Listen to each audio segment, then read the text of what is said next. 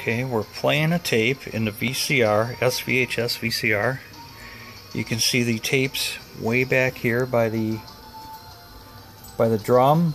It's got it pulled all the way back. It's got it wrapped around the playhead, and we're recording. So when you insert this, the uh, cassette hatch comes up and it pulls it in. These have to pull it all the way back and wrap it around that drum head for it to start playing. Now before it only wrapped it halfway and then it kicked it out so you might need a little lubrication down here at the bottom.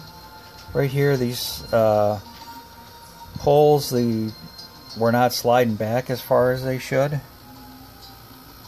So here you can see them way in but like this one and this one need to pull that tape all the way back to the far end so it wraps around that drum and it'll start playing back.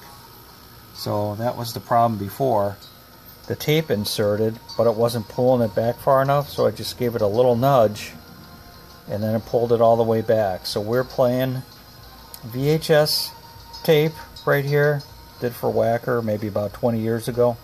Okay, it looks like 10 years ago, April 2000, and it seems to be playing back and working. So that's what we have to do in order to get this SVHS VCR to work, and here is how it looks playing it into the Panasonic unit. That's on SVHS.